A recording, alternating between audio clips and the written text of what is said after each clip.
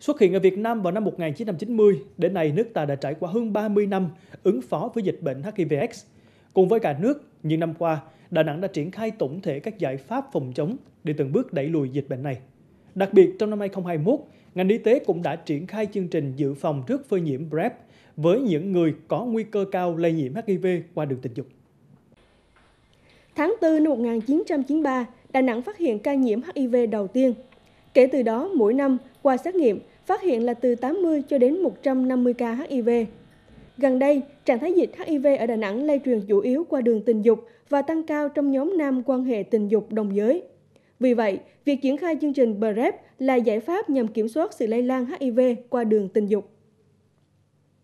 Thì đây là một cái chương trình à, dành cho những người có nguy cơ ừ, nhiễm HIV và đặc biệt là cái nhóm nam quan hệ tình dục đồng giới.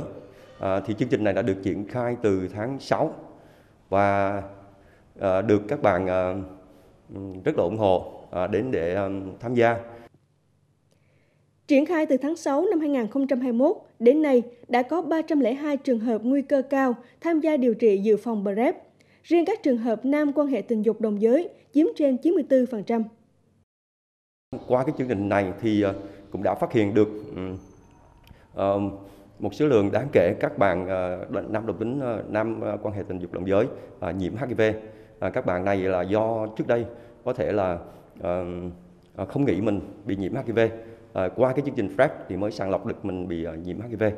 Và uh, các bạn thì uh, đối đến hiện nay thì uh, các bạn uh, tham gia chương trình PrEP um, uh, tương đối tuân thủ tốt uh, theo cái cái hướng dẫn cách uống thuốc và hy vọng rằng cái chương trình PrEP này Ờ, trong sẽ được ờ, giúp cho các ờ, nhóm dự phòng được cái nhiễm HIV trong giai đoạn tới. Được cộng đồng quốc tế đánh giá là điểm sáng trong công tác phòng chống HIV/AIDS, Việt Nam đặt mục tiêu chấm dứt dịch AIDS vào năm 2030. Cùng thực hiện mục tiêu này, Đà Nẵng sẽ tiếp tục đẩy mạnh các hoạt động phòng chống HIV/AIDS, trong đó sẽ mở rộng độ bao phủ với nhóm đối tượng nguy cơ cao được điều trị dự phòng trước phơi nhiễm HIV. Qua đó, giảm số người mới nhiễm HIV và tử vong liên quan đến AIDS.